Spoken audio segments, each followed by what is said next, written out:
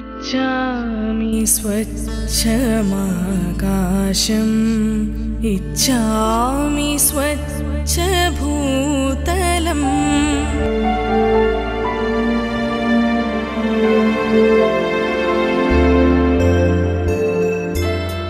एतद्दृश्यं द्रष्टुं नेच्छन्ति केऽपि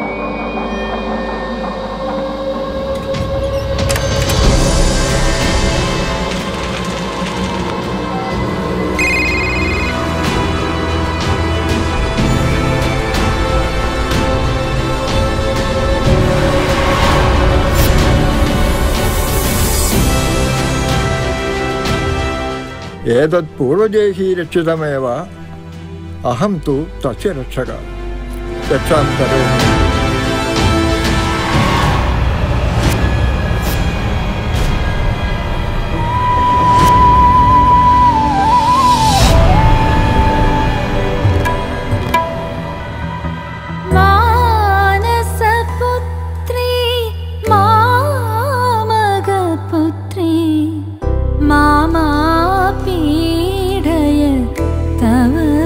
हृदय